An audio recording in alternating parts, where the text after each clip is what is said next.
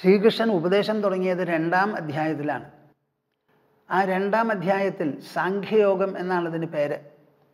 അതിൽ നമ്മുടെ ഉപനിഷത്ത് തത്വങ്ങളും അതോടനുബന്ധിച്ച കാര്യങ്ങളും പൂർണമായി കൃഷ്ണൻ പ്രതിപാദിക്കുകയുണ്ടായി. ഒരു നിലയ്ക്ക് ഭഗവത്ഗീത സംവാദം തന്നെ മുഴുവനായി എന്ന് പറയാം. അപ്പോഴാണ് അർജുനൻ ഒരു ചോദ്യം ചോദിച്ചത്. അതുകൊണ്ടാണ് മൂന്നാമത്തെ അധ്യായം വേണ്ടി വന്നത്. അങ്ങനെ നീണ്ടു നീണ്ടു വന്നു. ഇപ്പം ആറാം അധ്യായത്തിൽ എത്തുന്നതോടുകൂടി മനസ്സിലും ബുദ്ധിയിലും മാത്രം തട്ടി നിൽക്കുന്ന ധ്യാനം എന്ന് പറയുന്ന അധ്യാത്മ സാധനയെ പൂർണമായി വിവരിക്കുകയാണ് ഈ ആറാം അധ്യായത്തിൽ. അത് വിവരിച്ച് ധ്യാനമാണ് സത്യത്തിൽ ഈ അധ്യാത്മ ജീവിതത്തിലും അധ്യാത്മ സാധനയിലും കാതലും കഴുമ്പുമായിട്ടുള്ളത്. ആ ധ്യാനം പ്രതിപാദിക്കുന്നതോടുകൂടി അധ്യാത്മ ജീവിതത്തിന്റെ ലക്ഷ്യം എന്താണ്? അത് എപ്പോഴാണ് സാക്ഷാത്കരിക്കപ്പെടുക? ഇതൊക്കെ പ്രതിപാദിക്കണം. അങ്ങനെ ആ നില വരെ എത്തിയിരിക്കുകയാണ് നമ്മൾ അപ്പോഴാണ് എനിക്ക് തോന്നിയത് ഈ ഒരു സന്ദർഭം ഉപയോഗിച്ച് നമ്മുടെ ഭാരതത്തിൽ അതിവിശദമായി വിശാലമായി വിവിധമായിട്ടുള്ള തത്വചിന്തകളും തത്വസിദ്ധാന്തങ്ങളും ഒക്കെ ഉണ്ട് അതിൽ ഈശ്വരവിശ്വാസം ഉള്ളതുണ്ട്. ഈശ്വരവിശ്വാസത്തെ അവലംബിക്കാത്തതുമുണ്ട്. ആത്മാധിഷ്ഠിതമായതുണ്ട്. ആത്മാ എന്നുള്ള വാക്ക് പോലും പ്രയോഗിക്കാത്തതുമുണ്ട്. അങ്ങനെ പലതരത്തിലാണ് നമ്മുടെ ചിന്താഗതികൾ. പക്ഷേ ഇതിന് എല്ലാറ്റിനും കോമണായി പൊതുവെയുള്ള ഒരു ഘടകമുണ്ട്. അതെന്താ? മനുഷ്യന്റെ ഉൾ വ്യക്തിത്വത്തിലെ മനസ്സും ബുദ്ധിയും. പ്രധാനപ്പെട്ട മനസ്സ് തന്നെ. ആ മനസ്സാണ് നമുക്കൊരു ദേഹമുണ്ടെന്ന് പറയുന്നത് ഇന്ദ്രിയങ്ങളിലൂടെ ലോകമുണ്ടെന്ന് പറയുന്നത്. അപ്പം മനസ്സില്ലാതെ ഒന്നുമില്ല. മനസ്സുണ്ടെങ്കിലോ? എല്ലാം ഉണ്ട് താനും. മനസ്സില്ലെങ്കിൽ ഒന്നുമില്ല എന്ന് പറയുന്നത് എങ്ങനെയാ സ്വാമിജി എന്ന് നിങ്ങൾ ഇനി ചോദിക്കില്ല എന്ന് വിചാരിക്കുന്നു ഞാൻ. എന്താ കാരണം? അനവധി തവണ പറഞ്ഞു കഴിഞ്ഞു. കിടന്നുറങ്ങുന്ന സമയത്ത് നമുക്ക് ലോകവുമില്ല നമ്മളുമില്ല ഒന്നുമില്ല എന്ന്. എന്താ കാരണം? മനസ്സില്ലാത്തത് തന്നെ. മനസ്സ് തേഞ്ഞു പോയി മാഞ്ഞു പോയി നഷ്ടപ്പെട്ടു പോയി അല്ലെങ്കിൽ അകന്നു നിന്നു. മനസ്സിനെ ആശ്രയിച്ചിട്ടാണ് എല്ലാം. ആ മനസ്സിനെ നാം വേണ്ടതുപോലെ നയപ്പെടുത്തി മയപ്പെടുത്തി എടുത്താൽ നമ്മുടെ ലക്ഷ്യം എന്തോ അത് നമുക്ക് നേടിയെടുക്കാൻ പറ്റും. അതിൽ ഈശ്വരൻ ഈശ്വര വിശ്വാസം എന്ന് പറയുന്നത് ഒരു മാർഗം അത്രയേ ഉള്ളൂ. ആത്മാ ആത്മതത്വം എന്ന് പറയുന്നത് വേറെ ഒരു മാർഗം. പ്രകൃതി പ്രകൃതിതത്വം എന്ന് പറയുന്നത് ഇനിയൊന്ന്. ഇങ്ങനെ പലതാണ് പക്ഷേ മനസ്സ് എല്ലാറ്റിലും ഒരുപോലെയുണ്ട്. അപ്പോൾ ആ മനസ്സിനെ മാത്രം അടിസ്ഥാനപ്പെടുത്തി എത്ര ചിന്താഗതികളാവാം. ആ ചിന്താഗതികൾക്കൊക്കെ ഒരേ ഫലമാണെന്ന് ചൂണ്ടിക്കാണിക്കുന്ന ഒരു ഭാഗമാണ് അഷ്ടാവക്ര സംഹിതയിൽ അഷ്ടാവക്ര മഹർഷി ജനകനോട് സംസാരിക്കുന്ന ഭാഗം. അതിൽ പതിനൊന്നാം അധ്യായത്തിൽ രണ്ട് ശ്ലോകം ഞാൻ നിങ്ങളോട് പറഞ്ഞു. ദാ മൂന്ന് മുതൽ എട്ട് ശ്ലോകം വരെയുള്ളതും കൂടി പറഞ്ഞാൽ ആ ചിന്താഗതിയുടെ വൈവിധ്യം നിങ്ങൾക്ക് മനസ്സിലാക്കാം. അത് എത്ര സ്വതന്ത്രമായി പ്രവർത്തിക്കുന്നു എന്ന് മനസ്സിലാക്കാം. എല്ലാറ്റിലും മൂലപ്രമാണമായിട്ടുള്ളത് നമ്മുടെ മനസ്സാണെന്നും വളരെ വ്യക്തമാവും. ഇത് നിങ്ങൾ മനസ്സിലാക്കേണ്ടതൊരാവശ്യമാണ്. മനസ്സിലുള്ള സർവഭ്രമവും നിങ്ങൾ നീക്കിക്കളയൂ. നമ്മൾ ഇത്രയൊന്നും പരിഭ്രമിക്കേണ്ട ആവശ്യമൊന്നുമില്ല. ഇന്നാൾ ഞാൻ ചേന്നമംഗലം പാലിയത്ത് സംസാരിക്കാൻ പോയി. അത് വളരെ ഒരു പാരമ്പര്യവും പ്രൗഢിയുമുള്ള ഒരു കുടുംബമായിരുന്നുവല്ലോ ഒരു വംശമാണത്. നാനൂറ്റി ചില്ലാനും പഴക്കമുള്ള ഒരു നാലുകെട്ടിലാണ് സംസാരം ഉണ്ടായിരുന്നത്. അവർ പറയാണ് എന്താ സംസാരിക്കേണ്ടതെന്ന് അവരോട് ചോദിച്ചപ്പോൾ ചെറുപ്പക്കാർക്ക് ആർക്കും ഈശ്വരവിശ്വാസം ഇല്ല എന്ന് തന്നെ പറയാം. അവരുടെ ചോദ്യങ്ങൾക്ക് ശരിയായിട്ടുള്ള മറുപടി പറഞ്ഞു കൊടുക്കാൻ ഞങ്ങളെ കൊണ്ട് സാധിക്കുന്നില്ല. അപ്പം അവരെയും കൂടി അവരുടെ ചോദ്യങ്ങളെയും കൂടി മനസ്സിൽ വെച്ചുകൊണ്ട് സ്വാമിജി സംസാരിച്ചാൽ കൊള്ളാം എന്ന് എന്നോട് പറയുണ്ടായി. ഇതെന്തിനാണ് ഞാൻ നിങ്ങളോട് പറയണത്? നിങ്ങൾക്കും ഉണ്ടാകാം അത്തരക്കാരും മക്കളും ചെറുപ്പക്കാരും ഒക്കെ. അവർക്ക് എല്ലാവർക്കും വേണ്ടത്ര വിഭവം നൽകുന്നതാണ് നമ്മുടെ ശാസ്ത്ര വൈവിധ്യം എന്ന് നിങ്ങൾ എല്ലാവരും മനസ്സിലാക്കണം. നിങ്ങൾക്ക് മറുപടി പറയാൻ പറ്റില്ല എന്ന് വരാം. പക്ഷേ മറുപടി ധാരാളമുണ്ട് നമ്മുടെ ശാസ്ത്രങ്ങളിൽ. ഇതാ കേട്ടോളൂ. ആപദ സമ്പദ കാലേ ദൈവാദേവേതി നിശ്ചയി തൃപ്ത സ്വസ്ഥേന്ദ്രിയോ നിത്യം ന വാഞ്ചതി ന ശോചതി. കഴിഞ്ഞു കാര്യം. എന്താ പറയണത്? ആപദ സമ്പദ കാലേ ദൈവാദേവേതി നിശ്ചയി. നമ്മുടെ മനസ്സിലൊരു നിശ്ചയം ഉണ്ടാവണം അതാണ് ആവശ്യം. നിശ്ചയം എവിടെയാണ് ഉണ്ടാവുക? മൂക്കിലും വിരലിന്റെ തുമ്പത്തൊന്നുമല്ല. മനസ്സിലോ ബുദ്ധിയിലോ ആണ് നിശ്ചയം. ആ മനസ്സ് വേണ്ടത്ര വേണ്ടത്ര നിശ്ചയാത്മികമായി എന്നുണ്ടെങ്കിൽ നമ്മുടെ എല്ലാ വിഷമങ്ങളും തീരും. ഗീതയിൽ തന്നെ രണ്ടാം അധ്യായത്തിൽ കൃഷ്ണൻ പറഞ്ഞത് എന്താ? വ്യവസായാത്മിക ബുദ്ധി ഏകേഹ ഗുരുനന്ദന. വ്യവസായാത്മിക ബുദ്ധി എന്നാ പറഞ്ഞ കർമ്മയോഗത്തിന്റെ മുഖവുരയിൽ. നിശ്ചയ സ്വഭാവത്തോടു കൂടിയിട്ടുള്ള ഒരു ബുദ്ധി മാത്രമേ ഇവിടെ ഉള്ളൂ. ജീവിതം എന്ത് ലക്ഷ്യമെന്ത്? അതെങ്ങനെ നേരിടാം? അതിന് ഞാൻ എന്തു വേണം?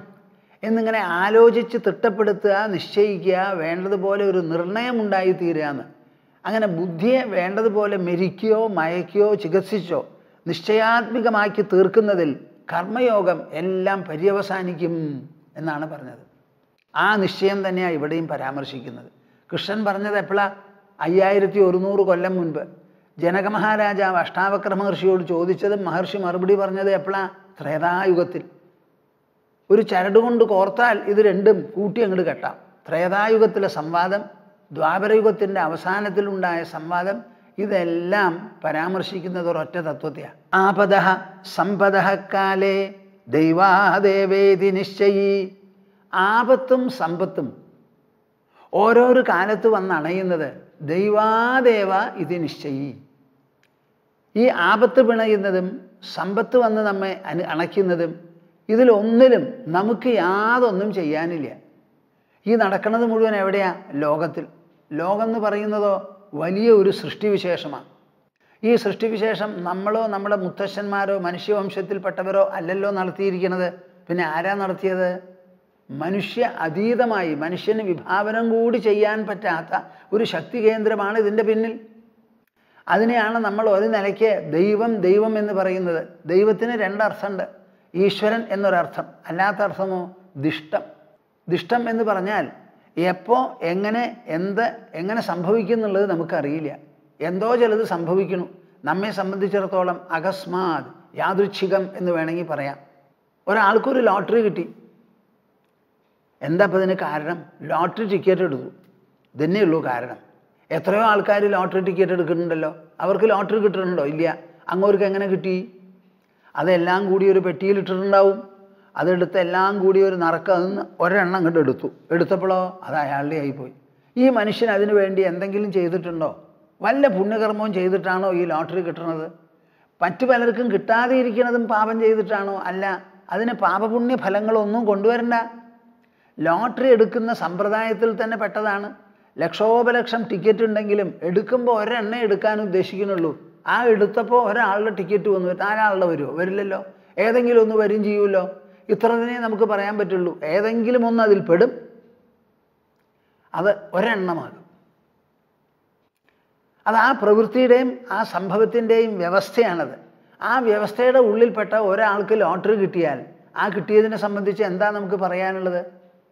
ആപദ സമ്പദ കാലേ ദൈവാദേവേദി നിശ്ചയി. ലോട്ടറി കിട്ടിയാൻ പറയണം. ഞാൻ ഇതിനെ അർഹിക്കുന്നില്ലേ? ടിക്കറ്റ് എടുത്തു എന്ന് മാത്രമേ ഉള്ളൂ. എന്നെപ്പോലെ എത്രയോ ആൾക്കാർ എടുത്തിട്ടുണ്ട്. അവർക്കൊക്കെ കിട്ടാത്തതുപോലെ എനിക്ക് കിട്ടി. എനിക്ക് എങ്ങനെ കിട്ടിയോ അതുപോലെ അവർക്ക് കിട്ടിയില്ല. ഇത്രയേ ഉള്ളൂ. രണ്ട് ടീം കളിക്കുന്നു. രണ്ട് പേരും പൊടി പൊടിച്ച് കളിക്കുന്നുണ്ട്. ചിലർക്ക് ഗോളടിക്കാനുള്ള സൗകര്യം കിട്ടി. ചിലർക്കോ കിട്ടിയില്ല. ഇതിനിപ്പോൾ എന്താ കാരണം? പറയാൻ പറ്റില്ല. മനുഷ്യന്റെ ആരോഗ്യമുണ്ട് ഒത്തൊരുമിച്ച് കളിക്കണം കണക്കുകളും തീരുമാനങ്ങളും പിഴയ്ക്കാണ്ടിരിക്കണം. പല ഘടകങ്ങൾ ബൗളർമാർ ബൗൾ ചെയ്യുന്നുണ്ട്. അതെപ്പോഴാണ് അവരുടെ ശക്തി എത്രയുണ്ട്? ഒന്നും പറയാൻ പറ്റില്ല. അടിച്ചപ്പോൾ കുറുക്കി കൊണ്ടു ഒന്ന് അങ്ങോട്ട് വഴുക്കി പലതും ഉണ്ടാവാം. വർമ്മവും കർമ്മവും കൂടി ഒത്തു എന്ന് വേണമെങ്കിൽ പറയാം. ഒരടി അങ്ങോട്ട് അടിച്ചപ്പോൾ കുറുക്കി കൊണ്ടു അത്. ആ അടിക്കാൻ പറ്റിയ തരത്തിലാണ് ബോൾ കയ്യിൽ കിട്ടിയത്. ഇതൊന്നും അല്ലെങ്കിലോ? പറയാൻ പറ്റില്ല. അപ്പോൾ വാസ്തവത്തിൽ ഈ കാര്യങ്ങൾ എന്തോ ചിലത് നടക്കുന്നുണ്ട്. ആ നടക്കുന്ന കാര്യങ്ങൾ നമ്മൾ ആലോചിച്ച് നോക്കി കണക്കാക്കി കുറുക്കി മുൻകൂട്ടി അങ്ങനെ പ്രയോഗിക്കാൻ പറ്റാവുന്നതാണോ? ഒരളവ് വരെ ആകാം. അല്ലെങ്കിലോ അല്ല. അപ്പോൾ അത് തിട്ടപ്പെടുത്തി പറയാൻ പറ്റില്ല എന്ന് ഇതിനെയാണ് ഭഗവത്ഗീതയിൽ പിന്നെ പറയുന്നത് ദൈവം ചെയ്വാത്ര പഞ്ചമം എന്ന് അഞ്ചാമത്തെ ഒരു ഘടകമുണ്ട് അതാണ് ദൈവം എന്ന് ദൈവം എന്ന് പറഞ്ഞാലോ മനുഷ്യനെ മുൻകൂട്ടി പരിഗണിച്ച് കണക്കാക്കി തിട്ടപ്പെടുത്താൻ പറ്റാത്തതായ ഏതോ ഒരു പ്രവർത്തന ഘടകമാണ് ഈ ദൈവം. അപ്പം ആ ദൈവം എന്ന് പറയുന്ന ഘടകത്തിനനുസരിച്ചാണ് ആപത്തും സമ്പത്തും കാലാകാലത്തിൽ വന്നണയുന്നത് അത് ദൈവം മാത്രമേ ഉള്ളൂ ആ കാര്യത്തിൽ. തനിക്കതിൽ വലിയ പങ്കൊന്നുമില്ല എന്ന് പറഞ്ഞ് വണക്കത്തോടുകൂടി തല കുനിച്ച് എന്ത് വന്നാലും സ്വീകരിക്കാൻ പറ്റിയ തരത്തിലുള്ള ഒരു മനസ്ഥിതിയോടുകൂടി ഒരു ഭാഗത്ത് വിശാലത ഒരു ഭാഗത്ത് നമ്രത ഒരു ഭാഗത്ത് സാമഞ്ജസ്യം. ഇനി എന്താ പറയുക? ഒരു ഭാഗത്ത് അങ്ങേയറ്റത്തെ അറിവ് അറിവ് സൗമ്യത. ഇങ്ങനെ എല്ലാം കൂടിച്ചേർന്ന് ഈ നിശ്ചയത്തിൽ എത്താൻ സാധിച്ചു എന്നുണ്ടെങ്കിൽ തൃപ്ത സ്വസ്ഥേന്ദ്രിയോ നിത്യം. അതിന് കിട്ടുന്ന ഫലം എന്താ തൃപ്ത. ഒരു ലോട്ടറി കിട്ടിയാൽ അതിൽ വലിയ സന്തോഷമില്ല കിട്ടിയില്ലെങ്കിലോ? അങ്ങനെ ആയിക്കോട്ടെ. തൃപ്തി എന്ന് പറയുന്നത് മനസ്സിനാണ്. മനസ്സ് തൃപ്തമാകുന്നത് എപ്പോഴാണ് ദാ ഈ സമയത്ത്.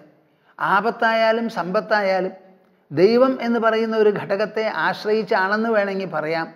അങ്ങനെയാണ് ആപസമ്പത്തുകൾ വന്നണയുന്നത് അതിൽ തനിക്ക് വിശേഷിച്ചൊരു പങ്കുമില്ല.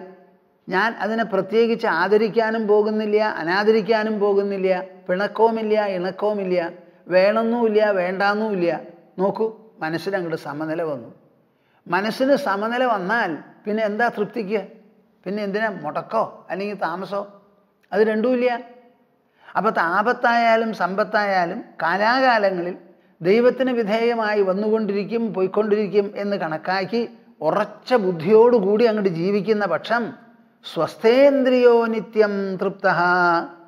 നമ്മുടെ കൈകാലുകൾക്കോ കണ്ണുമൂക്കുകൾക്കോ ചെവികൾക്കോ ഒന്നും ഒരു തരത്തിലുള്ള ഇടയിളക്കമോ ഭ്രംശമോ ഉണ്ടാവില്ല. നല്ല ഒരു ഇരുത്തമായി നമുക്ക് തൃപ്ത സ്വസ്ഥേന്ദ്രിയ ഒരു വാക്കുണ്ട് കേട്ടോളൂ. ഇന്ദ്രിയങ്ങൾ സ്വസ്ഥമായിട്ടിരിക്കുന്നു ഒരു കോളളക്കം ഒരു വെപ്രാളം പിന്നെ നമുക്ക് ഉണ്ടാവില്ല. തൃപ്ത സ്വസ്ഥേന്ദ്രിയോ നിത്യം.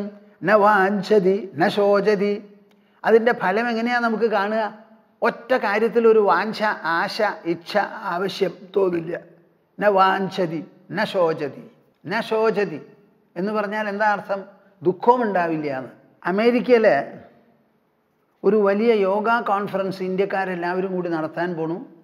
ആയിരത്തി ചില്ലാനം ഏറെ പങ്കാളികളുണ്ടാവും യുവജനങ്ങളുണ്ടാവും. സ്വാമിജി എങ്ങനെയായാലും വരണം സംസാരിക്കണം എന്നൊക്കെ പറഞ്ഞ് ഒരാൾ ഇവിടെ വന്നു. പോവാന്ന് പറഞ്ഞ് അവസാനം ഏറ്റു. ഏൽക്കുന്ന സമയത്ത് ഞങ്ങൾ പറഞ്ഞിട്ടുണ്ടായിരുന്നു പോകുന്നതിന്റെ പ്രാധാന്യം നമുക്ക് കുറേ പെരുമ്പറ അടിക്കാൻ പറ്റില്ലല്ലോ കാര്യങ്ങളൊന്നും സൂചിപ്പിക്കാനല്ലേ പറ്റുള്ളൂ.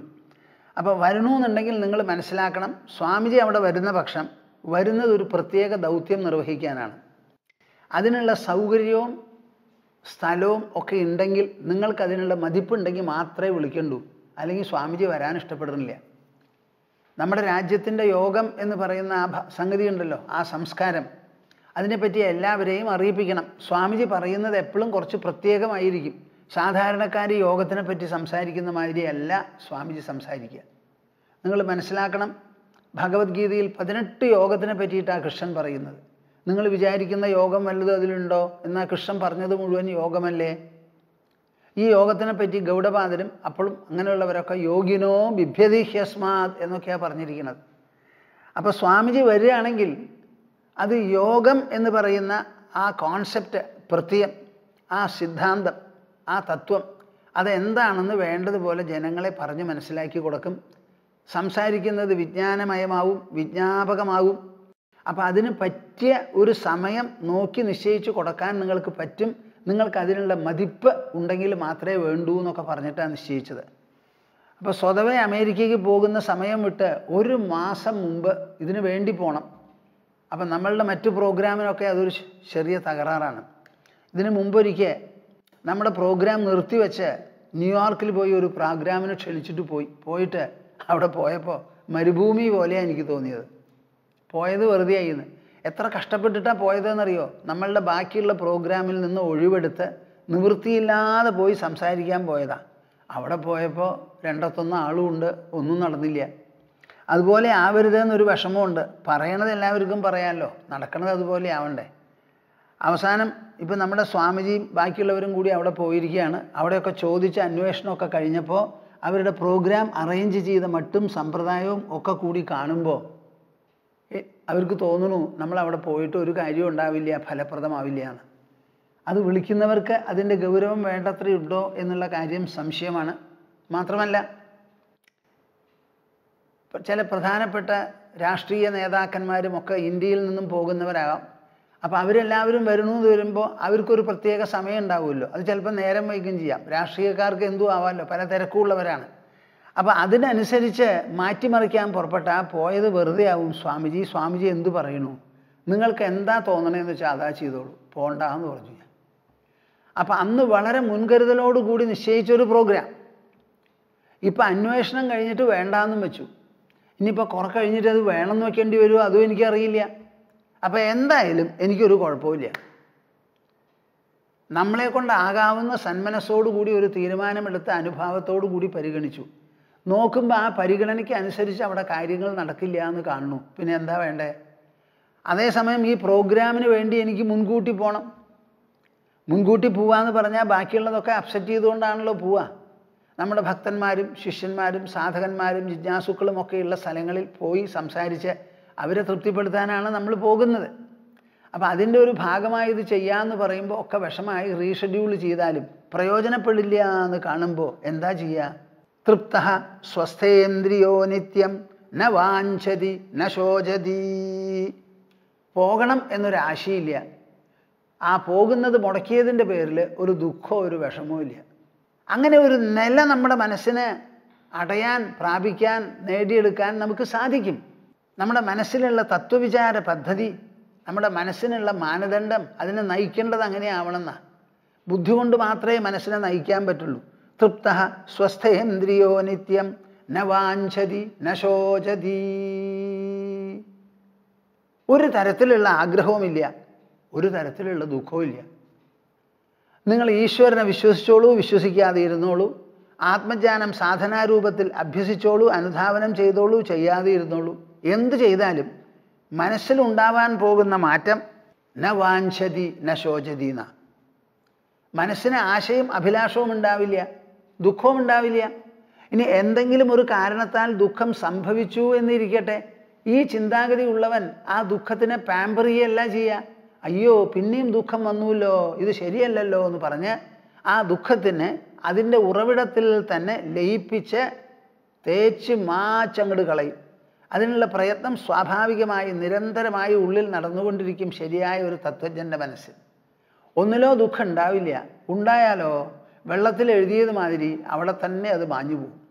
ആപദസമ്പദക്കാലേ ദൈവാദേവേദി നിശ്ചയി തൃപ്ത സ്വസ്ഥേന്ദ്രിയോ നിത്യം. ന നശോചതി നിങ്ങൾക്ക് എന്താ മനസ്സിലായത് പ്രേക്ഷകരെ?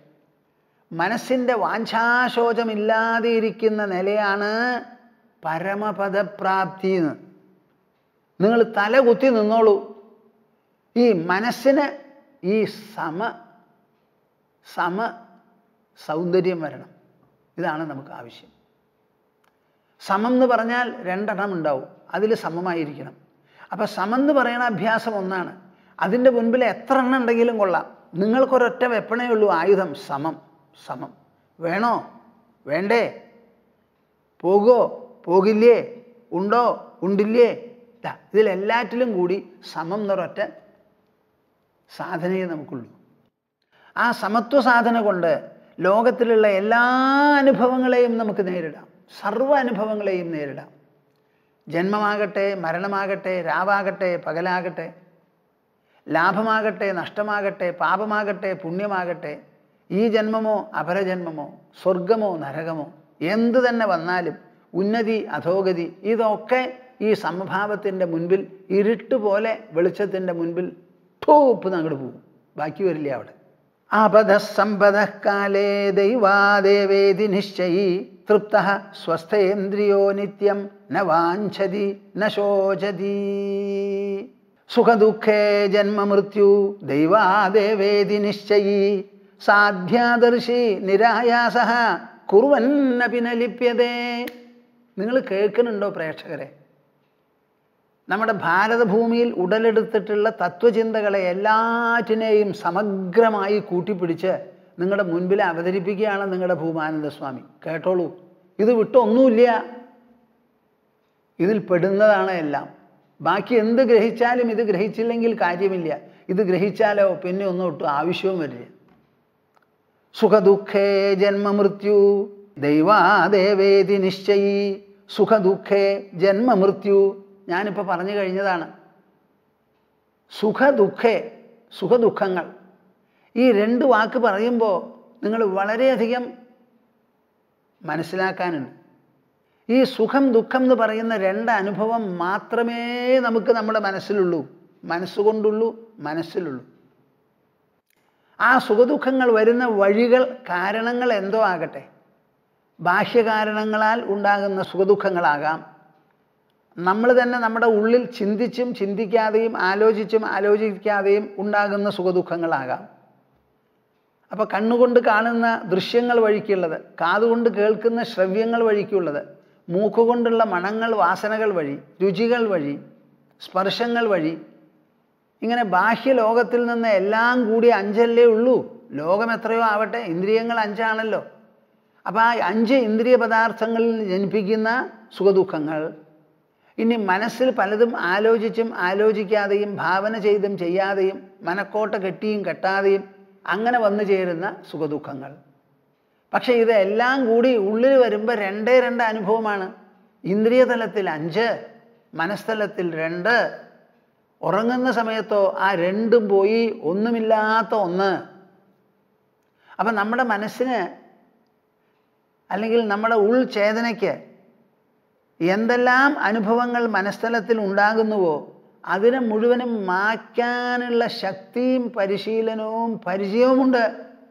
അതുകൊണ്ടാണല്ലോ ദിവസേന കിടന്നുറങ്ങുന്നത്. അപ്പോൾ സുഖദുഃഖങ്ങൾ അതുപോലെ ജന്മമൃത്യു നിങ്ങളോട് ആര് പറഞ്ഞു നിങ്ങൾ ജനിച്ചു എന്ന് എന്നോടൊന്ന് പറയും. ഞാൻ ജനിച്ചു എനിക്ക് വയസ്സിത്രയായി എന്ന് നിങ്ങൾ പറയണത് കടം മേടിച്ചിട്ടുള്ള അറിവല്ലേ കൂട്ടരെ? നിങ്ങൾ ജനിച്ചിട്ടുണ്ടോ? ജന്മം നിങ്ങൾക്ക് അനുഭവമാണോ? അല്ല ഒരാൾക്കും അറിയില്ല ഞാൻ ജനിച്ചു എന്ന് അതുമാതിരി ഒരാളും അറിയാനും പോകുന്നില്ല ഞാൻ മരിച്ചു മരിക്കുന്ന. മരിച്ച ഒരാളെ കാണിച്ചു തരും. ആരെങ്കിലും ഒരാൾക്ക് മരണാനുഭവം ഉണ്ടോ ഇന്ന് എത്രയോ ലക്ഷോപലക്ഷം കോടാനുകോടി ജനങ്ങൾ ജീവിക്കുന്നുണ്ട്. ഡോ മരണാനുഭവം ഉണ്ടോ എനിക്ക് ഇല്ല. ജന്മാനുഭവമോ അതുമില്ല. പിന്നെ എന്തിനാ ഇത് രണ്ടും പറയണേ? നാണക്കേട് അറിവില്ലായ്മ പോഴത്തം വങ്കത്തം. തത്വജ്ഞാനത്തിന്റെ ഭാഷയിൽ പെരും പോഴത്തമാണത്. ജന്മമൃത്യു. എവിടുന്നാ ജന്മം? എവിടുന്നാ മൃത്യു? അത് മരിക്കണത് എന്താ ശരീരം മരിച്ചു എന്നല്ല പറയണേ. ജീവൻ മരിച്ചു എന്നാ എടോ താൻ ജീവൻ മരിച്ചു എന്ന് പറയുമ്പോൾ ജീവനെ കണ്ടിട്ട് വേണ്ടേ പറയാൻ? എത്രയോ ആൾ ലോകത്തിൽ ജീവിക്കുന്നു. നിങ്ങൾക്കൊക്കെ കുടുംബാംഗങ്ങളുണ്ട് അച്ഛനുണ്ട് അമ്മയുണ്ട് ഭാര്യയുണ്ട് ഭർത്താവുണ്ട് മക്കളുണ്ട് സഹോദരനുണ്ട്. ആരെങ്കിലും ഒരാളെ തൊട്ടു നോക്കി തൊട്ടു നോക്കി ആ ആളുടെ ജീവനെ നിങ്ങൾ അനുഭവിച്ചിട്ടുണ്ടോ കണ്ടിട്ടുണ്ടോ ഇല്ല പിന്നെ മരിക്കുമ്പോൾ ജീവൻ പോയി എന്ന് എന്തിനാ പറയണേ? മുത്തം നൊണ. നൊണ. ആരുടെ ജീവൻ പോയി എന്നാ നിങ്ങൾ പറയണേ? ഏതെങ്കിലും ഒരു ജീവനെ നിങ്ങൾ കണ്ടിട്ടുണ്ടോ? അവനവന്റെ ഉള്ളിൽ തന്റെ ജീവനെ കണ്ടിട്ടുണ്ടോ ഇല്ല? അപ്പം കാണാത്തൊരു ജീവനെ പറ്റിയാ ജനിച്ചു എന്നും മരിക്കണു എന്നും മരിച്ചു എന്നും നമ്മൾ പറയണത്. ഇതിലേറെ തെറ്റും അബദ്ധവും ജഡിലത്വവും ഉണ്ടോ എന്ന് നിങ്ങൾ തന്നെ പറയും. ഞാനിത് പറയുമ്പോൾ നിങ്ങൾക്ക് എന്താ ഒരു കാഠിന്യം തോന്നുന്നുണ്ടോ?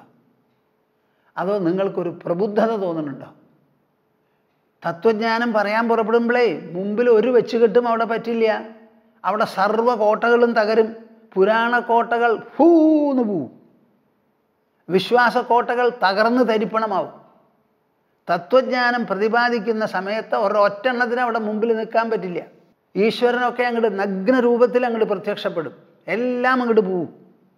ഞാൻ ഭഗവാനെ കണ്ടു എന്റെ മുമ്പിൽ ആഹാ. കണ്ടുവോ? അപ്പോൾ അത് ഭഗവാനല്ല. മുമ്പിലോ തീരെയല്ല ഭഗവാൻ മുമ്പിലാ നിൽക്കുക?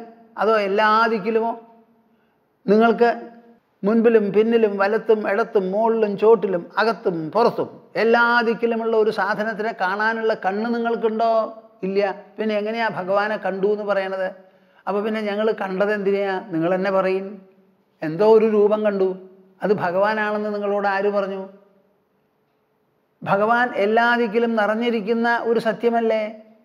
അങ്ങനെ വരുമ്പോഴാണ് ഒരു സ്ഥലത്ത് ഞാൻ പറഞ്ഞു പോയത് അഗ്രേ പശ്യാമി തേജോ എന്ന് നമ്മുടെ ഭട്ടതിരി പറഞ്ഞിട്ടുണ്ടല്ലോ.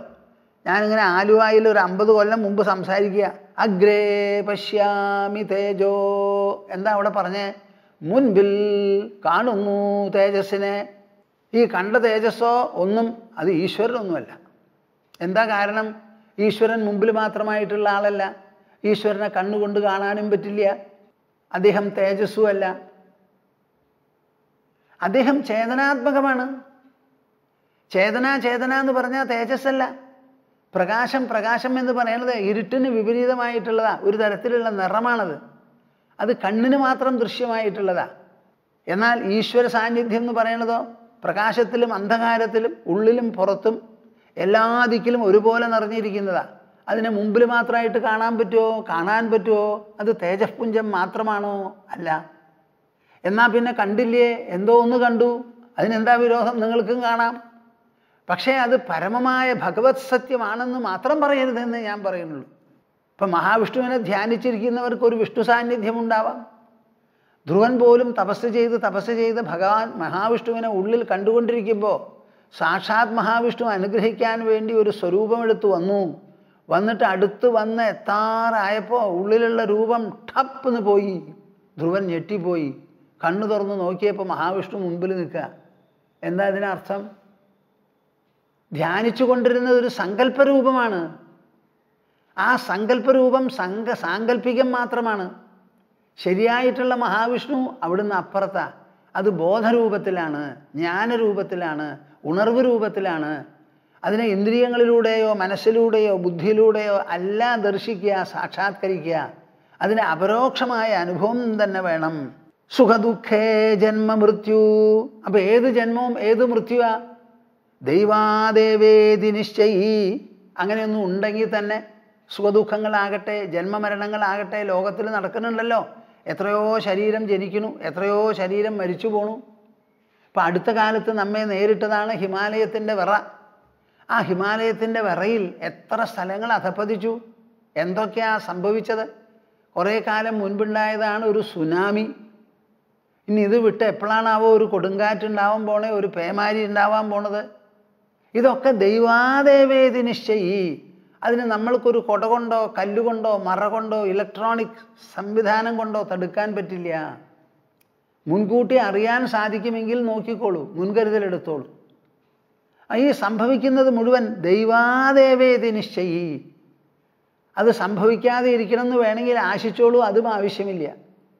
ഭൂമിയുടെ തിരിച്ചലും ഭൂമിയുടെ ഘടനയും അതിന്റെ ഗതിയും ഒക്കെ കണക്കിലെടുക്കുമ്പോൾ ഇപ്പോൾ എപ്പോഴും പറയുന്നുണ്ടല്ലോ വലിയ ഒരു ഭൂമി കുലുക്കം ഉണ്ടാക്കിയാൽ ഉണ്ടായാൽ ഒരു എൺപത് കൊല്ലം അറുപത് കൊല്ലത്തിന് ശേഷം പിന്നെ സംഭവിച്ചു എന്നാണ് പറയണത്. അപ്പോൾ ഭൂമിയുടെ തിരിച്ചലിൽ ചിലപ്പോൾ ഒരു വൃത്തം ഒരു സൈക്കിൾ ഉണ്ടാവാം. ആ സൈക്കിളിൽ ചില ഭൂമികുലുക്കങ്ങളൊക്കെ അറുപത് കൊല്ലം എൺപത് കൊല്ലം കൂടുമ്പോൾ ആവർത്തിക്കേണ്ടി വരും. പാവം അതിങ്ങനെ കിടന്ന് തിരിയാണല്ലോ. ആ തിരിയുന്ന സമയത്ത് എന്തൊക്കെ ബാലൻസ് ചെയ്യേണ്ടി വരും? നിങ്ങൾക്കിത് വല്ലതും അറിയോ? ആ ഭൂമിയുടെ ഉള്ളിൽ എന്തൊക്കെയുണ്ട്? ദ്രവരൂപത്തിലുള്ളത് കൊഴുപ്പ് രൂപത്തിലുള്ളതുണ്ട്. പല സംഗതികളും അതിന്റെ ഉള്ളിലുണ്ട്. ഭൂമി ഇങ്ങനെ തിരിയുമ്പോൾ അതിങ്ങനെ ഇളകി മറിഞ്ഞ് ഇളകി മറിഞ്ഞ് ഇളകി മറിഞ്ഞുകൊണ്ടിരിക്കുക. കുറേ കഴിഞ്ഞാൽ ഒരു ബാലൻസ് വ്യത്യാസം അതിന് വരുമല്ലോ.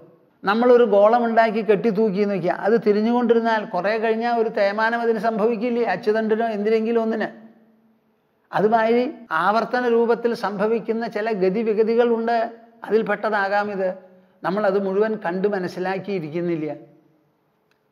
എന്തൊക്കെയായാലും ഈ ഭൂമി പെട്ടെന്ന് ഇല്ലാതെയായിട്ടില്ലല്ലോ എന്ന് സമാധാനിക്കുക. അതുകൊണ്ട് ജീവിക്കുന്നതിന് ഒരു വ്യവസ്ഥയുണ്ട്.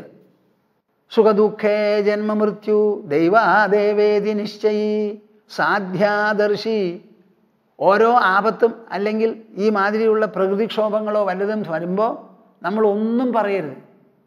ആ വന്നതിനുള്ള പ്രതിവിധി എന്തൊക്കെ വേണോ ലോകരാജ്യങ്ങൾ മുഴുവൻ എല്ലാം കൂടി പോയി ആ നേപ്പാളിനെ പുനഃസ്ഥാപിക്കാൻ വേണ്ടതൊക്കെ നമ്മുടെ കയ്യിൽ നിന്ന് പരമാവധി കൊടുത്ത് സഹായിക്കുക വേണ്ടത്.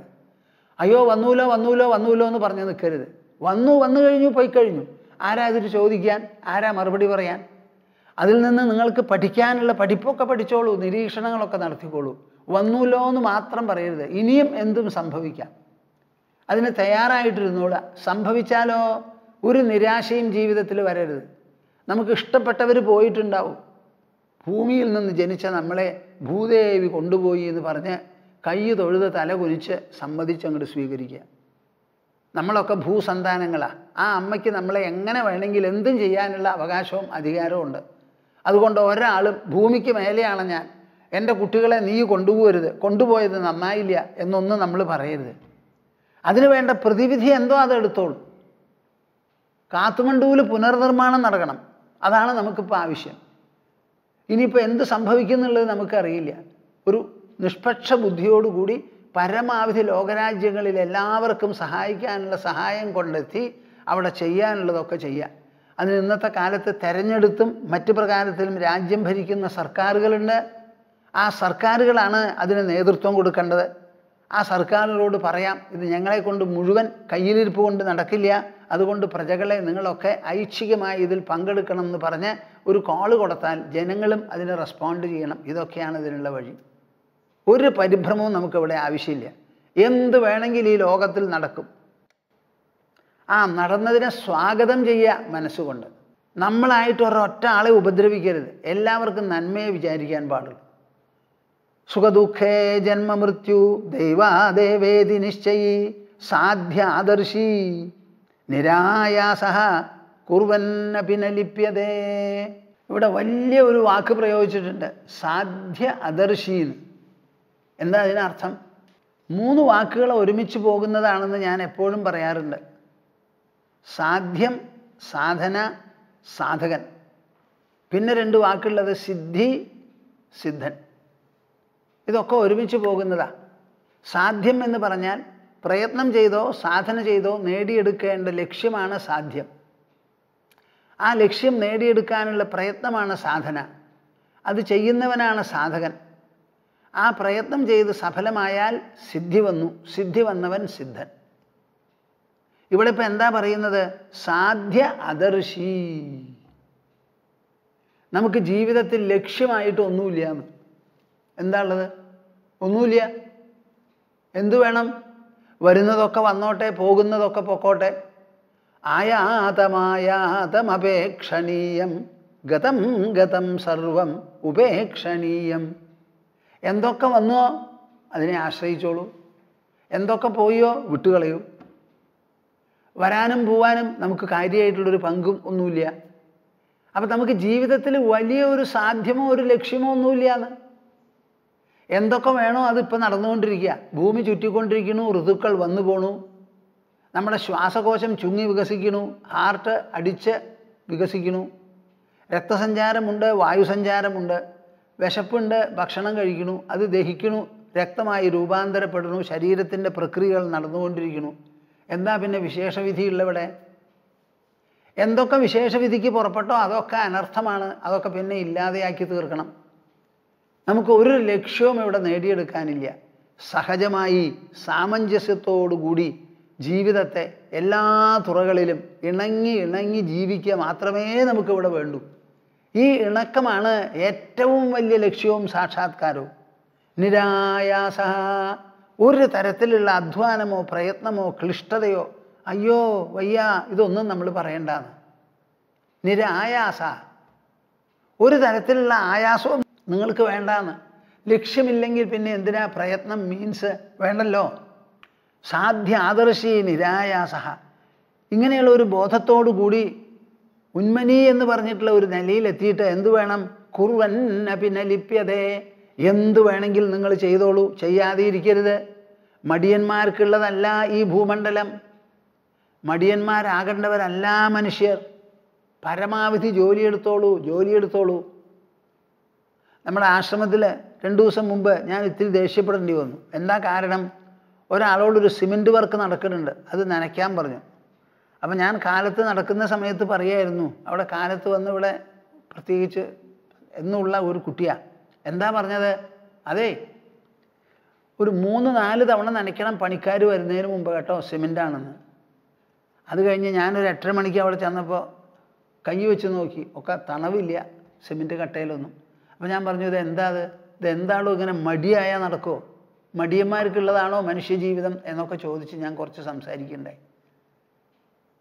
അവിടെ പൈപ്പുണ്ട് വെള്ളമുണ്ടോ ഒന്ന് നനയ്ക്കാൻ എന്ത് വേണം? സിമെന്റിന് വെള്ളം കൊടുക്കണ്ടേ? അങ്ങനെ വെള്ളം കൊടുക്കാതെ നമ്മുടെ ബ്രിഡ്ജും റെയിൽവേ ബ്രിഡ്ജും ഒക്കെ ഉണ്ടാക്കിയാൽ എങ്ങനെയാണ് നിലനിൽക്കുക നിങ്ങളൊന്ന് ആലോചിച്ച് നോക്കൂ. ഒരു ബ്രിഡ്ജ് ഉണ്ടാക്കണത് നമുക്ക് വേണ്ടിയിട്ടാണോ? അതോ ലോകത്തിലുള്ള എല്ലാവർക്കും വേണ്ടിയിട്ടോ? ഒരു എൺപത് കൊല്ലം നൂറ് കൊല്ലം നിൽക്കേണ്ടതാണ് നമ്മുടെ ഫ്ലൈ ഓവർ മുതലായിട്ടുള്ളതെല്ലാം. എത്രയോ വാഹനങ്ങൾ കടപട കടപട. നിങ്ങൾ ആലോചിച്ച് നോക്കണം ചെറിയ ഒരു കമ്പി. മെറ്റൽ അതിന്റെ ഉള്ളിൽ മണൽ മണലിന്റെ ഉള്ളിൽ സിമെന്റ്. ഇതെല്ലാം കുത്തിത്തിരികി നിറച്ച് അവിടെ വച്ചാൽ ആ സാധനത്തിന് ഇങ്ങനെ ഇത്രയധികം ബലം എങ്ങനെ ഉണ്ടാവണമെന്ന് നിങ്ങൾ മനസ്സിലാക്കണം. വെള്ളത്തിലാണ് ആ സെറ്റിംഗ് മുഴുവൻ നടക്കുന്നത്. വെള്ളത്തിലാണ് ആ സെറ്റിംഗ് മുഴുവനും നടക്കുന്നത്. വെള്ളത്തിൽ നല്ല പോലെ സെറ്റ് ചെയ്താൽ പിന്നെ ആ കമ്പിയുടെ ഉള്ളിലേക്ക് പുറമേ നിന്ന് വെള്ളം പ്രവേശിക്കില്ല.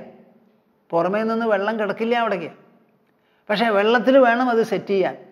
വാസ്തവത്തിൽ വേണ്ടത് ഇരുപത്തെട്ട് ദിവസമാണ്. അതില്ലെങ്കിൽ പതിനാല് ദിവസമെങ്കിലും വെള്ളം കൊടുക്കണം. അപ്പം ഞാൻ പറയായിരുന്നു മടി ഇങ്ങനെ ഈ മടിയായ എങ്ങനെയാണോ നടക്കുക? എനിക്ക് മനസ്സിലാവണില്ല. നമ്മളൊക്കെ മടിയന്മാരാകേണ്ടവരാണ്. സമയത്തിന് ചെയ്യേണ്ട ജോലി സമയത്തിന് ചെയ്യണ്ടേ. ഒരു പോസ്റ്റ്മാന്റെ ജോലി എന്താ? പലരും പലതരത്തിലുള്ള സന്ദേശങ്ങളുമാണ് എഴുത്തുകൾ വഴി അയക്കണത്. ആ എഴുത്ത് മുഴുവൻ പറക്കി കൊണ്ടുവന്നെടുത്ത് അവരത് തുറന്നു വായിക്കാൻ അവരോട് പറയുന്നില്ല നടപടി എടുക്കാൻ പറയുന്നില്ല. ആ എഴുത്ത് മുഴുവൻ റെയിലിലായിട്ടും പ്ലെയിനിലായിട്ടും കൊണ്ടുപോയി അഡ്രസ്സ് ഉള്ളവർക്ക് കൊണ്ടു കൊടുക്കുക. അവർ കൊണ്ടു കൊടുക്കുന്നതിന്റെ പ്രാധാന്യം എത്രയാന്ന് പറഞ്ഞാൽ തീരില്ല പറഞ്ഞാൽ തീരില്ല. അത്രയധികം പ്രാധാന്യമാണ് അപ്പം ആ എഴുത്തുകൾ വേണ്ടതുപോലെ ആർക്ക് അഡ്രസ്സ് ചെയ്തിട്ടോ അവിടെ കൊണ്ട് എത്തിക്കാനല്ലേ ഈ പോസ്റ്റ്മാൻമാരും പോസ്റ്റൽ സ്റ്റാഫും അവർ ആ കൃത്യത്തിൽ വിലോപം വരുത്തിയാലോ? ബോംബെക്ക് ഞാൻ പോണു എന്ന് പറഞ്ഞിട്ടൊരു മെസ്സേജ് അയച്ചു. ശരിക്കുള്ള ലെറ്ററിൽ എഴുത്ത് എഴുതി ഒട്ടിച്ച് അയച്ചിരിക്കുക ഇവിടുന്ന് ഒരു ബോംബെക്ക് ഒരു ലെറ്റർ ഡെലിവറി ചെയ്യാൻ എത്ര ദിവസം വേണമെന്ന് നിങ്ങൾ പറയും. നിങ്ങൾ തന്നെ പറയൂ ഇതിനൊരു വ്യവസ്ഥയില്ലേ? സമയം നോക്കി ഒരാഴ്ച മുമ്പ് അയച്ചു. ഞാൻ അവിടെ പോയിട്ട് വരുന്നതിന് മുമ്പാണ് ചിലർക്ക് കിട്ടിയിരിക്കണേ. ഞാനൊരു എഴുത്ത് അയച്ചു. Director of post postal services ഞങ്ങളൊരു എഴുത്ത് ഒട്ടിച്ചതാ ബുക്ക് പോസ്റ്റല്ല അയച്ചു. അത് കിട്ടിയിട്ടുള്ളതോ? നിങ്ങൾ പറയണമായിരുന്നില്ല ഒരു സ്പീഡ് പോസ്റ്റ് അയച്ച് കിട്ടിയാൽ ഒരാഴ്ച കഴിഞ്ഞിട്ടൊക്കെയാണ് വരണത്. നമ്മുടെ പോസ്റ്റൽ സർവീസസുകാർക്ക് നാണം ഉണ്ടാവില്ലേ? നാണം വേണ്ടേ അവർക്ക്? നമ്മൾ നികുതി പണമല്ലേ അവർ സ്വീകരിക്കുന്നത്? സ്റ്റാമ്പ് ചോദിച്ചാൽ സ്റ്റാമ്പില്ല. ഫ്രാങ്കിങ് മെഷീൻ കേടിലാവും. എന്നിട്ട് അവർ പറയണതൊക്കെ നമ്മൾ കേൾക്കണം. അതെന്താ അത്? ഒരു ദിവസം നിശ്ചയിച്ച ആ ദിവസത്തിൽ വേണം പോസ്റ്റ് ചെയ്യാൻ അത് വിട്ടാൽ ഞങ്ങൾ സമ്മതിക്കില്ല. അവർ പറയുന്ന റൂളൊക്കെ നമ്മൾ അനുസരിക്കണം നമ്മുടെ എഴുത്ത് ഡെലിവറി ചെയ്യുന്നതിൽ അവർക്ക് ഒരു അനുസരണവും ഇല്ല ഒരു റൂളും ഇല്ല. ഇതെങ്ങനെയാണ് നടക്കുക? എനിക്കിതൊക്കെ ചോദ്യം ചെയ്യണം എന്നുള്ള അഭിപ്രായമുണ്ട്. ഞാൻ ചോദ്യം ചെയ്യണത് ഒരു തെറ്റായിട്ടല്ല. ഇങ്ങനെയുള്ള ചോദ്യം പരാമർശം കൊണ്ടാണ് ഈ കാര്യങ്ങളൊക്കെ ലോകത്തിൽ നേരെയാവണത്. ഡെമോക്രസിയുടെ പ്രിൻസിപ്പിൾ അതാണല്ലോ ജനാധിപത്യത്തിന്റെ. നമ്മളെല്ലാം പറഞ്ഞ മാതിരി ചെയ്യണം. അവരോ ഒരു ബാധ്യതയില്ല. അവർക്ക് പാസഞ്ചേഴ്സിന്റെ മുൻപിലോ എഴുത്തയക്കുന്നവരുടെ മുൻപിലോ പ്രജകളുടെ മുൻപിലോ. നമ്മുടെ രാജ്യം എന്നാണ് പ്രബുദ്ധരാവാൻ പോകുന്നത്? ഇവിടെ പ്രജകൾക്കാണ് പരമാധികാരം. അവർ കൊടുക്കുന്ന അധികമാണ് അധികാരമാണ് തെരഞ്ഞെടുത്ത പ്രതിനിധികൾക്ക്. ആ പ്രതിനിധികൾക്ക് സ്വയം ഒരു അധികാരമില്ല. അവർ നമ്മളോട് പറയാ നിങ്ങളുടെ വോട്ട് തരൂ തരൂ തരൂ എന്ന് പറഞ്ഞിട്ടാണ് വരണത്. എന്നിട്ട് നമ്മൾ അവർക്ക് കൊടുക്കുകയാണ്. ആ കൊടുക്കണത് ഒരു അധികാരമാണ് ആ തെരഞ്ഞെടുപ്പിന്റെ മുകളിലാണ് അവരെല്ലാം ചെയ്യുന്നത്. അപ്പം അവരുടെ അധികാരത്തിന്റെ ഉറവിടം അത് നമ്മളാണെന്ന് അതെങ്ങനെയാണ് അവർ മനസ്സിലാക്കാണ്ടിരിക്കണം? അവർ സമ്മതിക്കണ്ടേ? അവരെ പറഞ്ഞയക്കാനും തിരിച്ചു വിളിക്കാനുമുള്ള അധികാരം നമുക്കുണ്ട്. അവർ ചെയ്യുന്ന പ്രവൃത്തി ശരിയായോ തെറ്റായോ എന്ന് ചോദിച്ച് നിരീക്ഷിക്കാനുള്ള അവകാശം നമുക്കുണ്ട്. ഇതിപ്പോൾ അങ്ങനെയല്ല. തെരഞ്ഞെടുത്താൽ എല്ലാമായി. തെരഞ്ഞെടുക്കുന്നവർക്കോ ഒന്നുമില്ല. അതാണ് ഇവിടുത്തെ നില. എവിടെ നോക്കിയാലും ഈ മടി കൃത്യവിലോപം അതാ അവിടെ കാണുന്നത്. സാധ്യാദർശി നിരായാസഹ. കുറുവന്ന പിന്നെ ലിപ്യതേ ഈ പറയുന്നത് മുഴുവൻ എന്തിനാ? മടി പിടിച്ചിരിക്കാനല്ല ആലസ്യത്തിനല്ല. കുറുവന്ന പിന്നെ ലിപ്യതേന മനസ്സിൽ ഒരു കനവും തോന്നാതെ നിരായാസഹ എന്നുള്ള വാക്കിന് അതാണ്. മനസ്സിന് കനം തോന്നരുത് മുഷിപ്പ് തോന്നരുത് മലപ്പ് തോന്നരുത്. അയ്യോ ഇത്ര അധികമായോ? ഞാൻ ചിലപ്പോൾ ജോലിക്കാരോട് ചോദിക്കും നിങ്ങൾ എപ്പോഴാണ് വരണത്? എപ്പോഴാണ് പോണത്?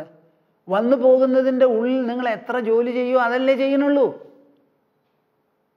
നിങ്ങൾക്ക് വേണ്ടി എട്ട് മണിക്കൂർ പന്ത്രണ്ടാവുന്നുണ്ടോ? രണ്ട് കൈ മൂന്ന് കൈ ആവുന്നുണ്ടോ? നിങ്ങളുടെ രണ്ട് കൈ കൊണ്ട് നിശ്ചിത സമയം അല്ലേ നിങ്ങൾക്ക് പ്രവർത്തിക്കാൻ പറ്റുള്ളൂ? അതിൽ പിന്നെ കൂടുതലും കുറവും എങ്ങനെയാ? എനിക്ക് മനസ്സിലാവണില്ല. തൊട്ടതിനൊക്കെ ഇവിടെ മുടക്കാം. എന്തെങ്കിലും ഒരു പ്രധാന സംഗതി ഉണ്ടെങ്കിൽ ഞങ്ങൾക്കൊരു മുടക്കം വേണം. ഏകാദശി നോൽക്കാൻ മുടക്കം. ദ്വാദശിക്ക് പാരണ കഴിക്കാൻ മുടക്കം. സർവതിനും മുടക്കാം അവിടെ. മുടങ്ങി മുടങ്ങി ഒരു രാജ്യം നേരെയാവുമപ്പാ മുന്നൂറ്റി അറുപത്തഞ്ച് ദിവസത്തിൽ ഏതാണ്ട് പകുതി മുടക്കാണ് ചില സംസ്ഥാനങ്ങളിൽ. എങ്ങനെയാണ് ഈ പകുതി മുടക്കം? ആഴ്ചയിൽ രണ്ട് ദിവസം മുടക്കം ശനി ഞായർ ആ ശനി ഞായറിന് പുറമെ നാഷണൽ ഹോളിഡേയ്സ് ബാങ്ക് ഹോളിഡേയ്സ് അതൊരു വക. പിന്നെ സെക്ഷണൽ ഹോളിഡേയ്സ് ഒരു വക. Medical leave casual leave earned leave. ഇതൊക്കെ കഴിച്ചാലോ? എത്ര ദിവസം ഉണ്ടെന്ന് നിങ്ങൾ എന്നെ പറയും. എന്നിട്ട് രാജ്യം പുരോഗമിച്ചില്ല പുരോഗമിച്ചില്ല. കുണ്ടിൽ പോവാ. ഒന്നാമത് നമ്മൾ തീരുമാനിക്കുകയും നല്ലപോലെ ജോലിയെടുക്കാൻ. ആഹാരം കഴിച്ച് ആ കഴിച്ച ആഹാരം ദഹിക്കണമെങ്കിൽ പൊരിഞ്ഞ ജോലി ചെയ്യണം. അതിൽ കളവും ചതിയും മാത്രമേ നമുക്കുള്ളൂ. നമ്മൾ ചെയ്യുന്ന ജോലി കുറച്ച് ശമ്പളം നമുക്ക് കിട്ടുന്നുണ്ടെങ്കിലും ചെയ്യുന്ന ജോലി മുഴുവനും ഈ സമാജത്തിനുള്ള ഒരു മുതൽക്കൂട്ടാണെന്ന് നിങ്ങൾ മനസ്സിലാക്കണം. ഒരു ഇരുമ്പ് ഫാക്ടറിയിൽ ഉണ്ടാക്കുന്ന ഇരുമ്പ് മുഴുവൻ ആ ഫാക്ടറിയുടെ ഉടമസ്ഥന്മാരാണോ തിന്നണേന്നാണ് ഞാൻ ചോദിക്കുന്നത്. എന്ത് ഉത്പന്നങ്ങളും ഉടമസ്ഥനല്ലല്ലോ കഴിക്കുന്നത്. ആ ഉത്പന്നങ്ങൾ സമാജത്തിലേക്ക് പോവുകയല്ലേ ചെയ്യുന്നത്. അതിൽ എന്തൊക്കെ സാധനങ്ങൾ എന്തൊക്കെ പ്രവൃത്തികൾ എവിടെയൊക്കെയാണ് നടക്കുന്നത്. അപ്പോൾ ഓരോ പ്രവർത്തകനും വന്ന് പ്രവർത്തിക്കുന്നത് സമാജത്തിന് മുതൽക്കൂട്ടാകുന്ന ഉത്പന്നങ്ങൾ അതിനു വേണ്ടിയിട്ടുള്ള സംഭാവനയും സമർപ്പണവുമാണ് ഓരോരുത്തരുടെ പ്രവർത്തനവും എന്ന് മനസ്സിലാക്കുന്നത് വരെ ഇവിടെ നന്മയുണ്ടാവാൻ പോകുന്നില്ല അഭിവൃദ്ധി ഉണ്ടാവാൻ പോകുന്നില്ല. സമരമാണ് തൊട്ടതിന് മുഴുവൻ. എന്ത് സമരം? എന്താ അവരുടെ സമരം എനിക്ക് മനസ്സിലാവണില്ല അവരുടെ ഉത്പന്നങ്ങൾ ഞങ്ങൾ കൂടുതൽ ഉത്പാദിപ്പിച്ചു എന്ന് പറഞ്ഞ ഒരു സമരക്കാരെ ഞാൻ കണ്ടിട്ടില്ല. അവരുടെ കയ്യിലാണല്ലോ ഈ ചെയ്യലും ചെയ്യാതെ ഇരിക്കലും മനുഷ്യന്റെ മനസ്സ് നന്നായി അധ്യാത്മമായിട്ടുള്ള ഒരു ചിന്താഗതി വന്ന് ദേശസ്നേഹവും സമാജസ്നേഹവും ഒക്കെ ഉണ്ടാവുന്നത് വരെ ഒരു മെച്ചവും നമുക്ക് ഉണ്ടാവില്ല. നിങ്ങൾ ആരും വിചാരിക്കരുത് അധ്യാത്മമായ തത്വശാസ്ത്രം മനുഷ്യരെ മടിപിടിപ്പിക്കുന്നതാണെന്ന്. കുറുവന്ന പിന്നെ ലിപ്യതേ മനസ്സിലുള്ള ഒട്ടൽ മാത്രമേ നമുക്ക് ഇല്ലാതെയാവുന്നുള്ളൂ സംഘം എന്ന് പറയുന്നു അധ്യാത്മം കൊണ്ട് ഉണ്ടാകാൻ പോകുന്ന നേട്ടം പ്രവർത്തന രാഹിത്യമല്ല പ്രവർത്തനത്തിലുള്ള സംഘം ഇല്ലാതെയാവൽ മാത്രമാണ്. സംഘം സംഘം എന്ന് പറഞ്ഞാൽ പ്രവർത്തകന്റെ മനസ്സിനെ വ്യഥിപ്പിക്കുന്നത് വേദനിപ്പിക്കുന്നത് കുഴക്കുന്നത് മറിക്കുന്നത് അവശമാക്കി തീർക്കുന്നത്. അങ്ങനെയുള്ള സൈക്കോ ഇന്റലക്ച്വൽ ട്രെയ്റ്റ്സാണ് പോകുന്നത്.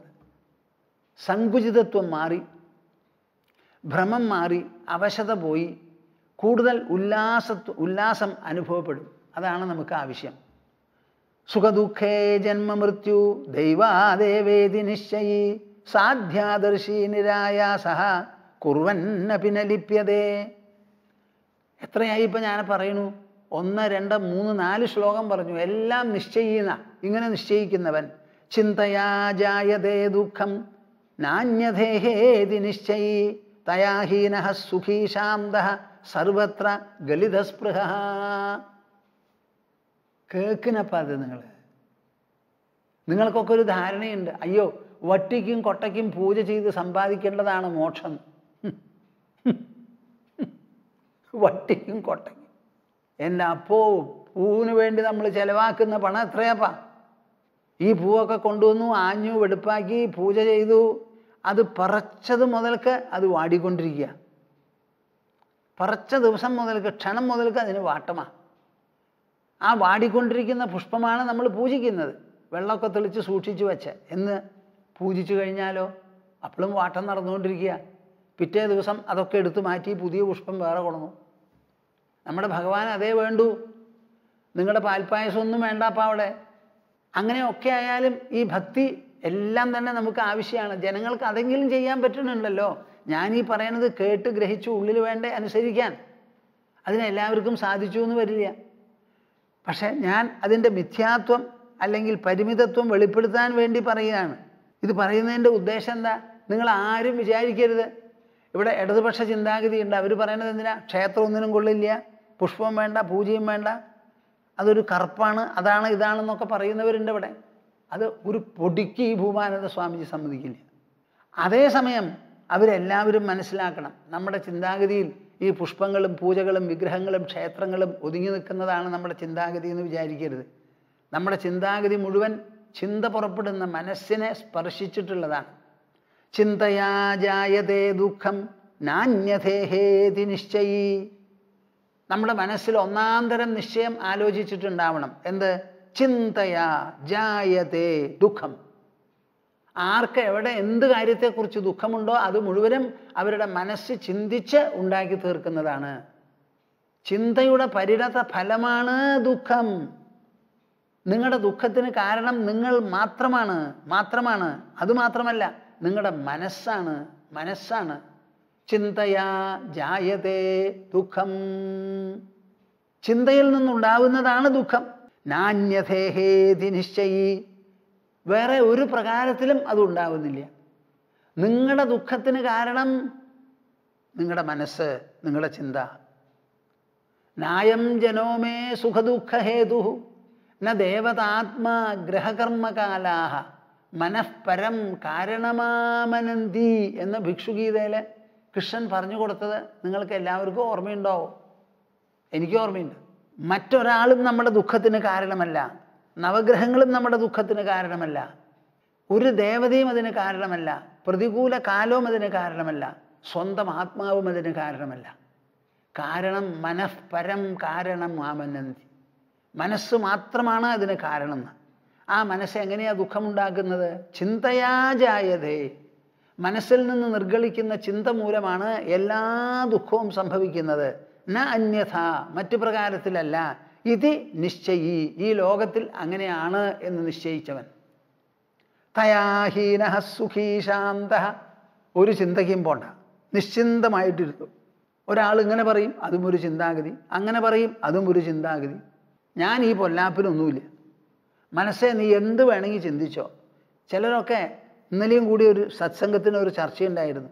ഞാനൊരു സ്വപ്നം കണ്ടു സ്വാമിജി എയറോപ്ലെയിനിൽ യാത്ര ചെയ്യുക അപ്പോൾ എയറോപ്ലെയിനിൽ യാത്ര ചെയ്തുകൊണ്ടിരിക്കുമ്പോൾ എയറോപ്ലെയിനിന്റെ ഉള്ളിലുണ്ട് ഒരു സമുദ്രം. എയറോപ്ലെയിനിന്റെ ഉള്ളിലൊരു സമുദ്രം എങ്ങനെയാണ് വരിക സ്വാമിജി? ആ ഈ സ്വപ്നം എന്ന് പറയുന്നത് എന്താ? മനസ്സിൽ രചിക്കുന്നതാണ്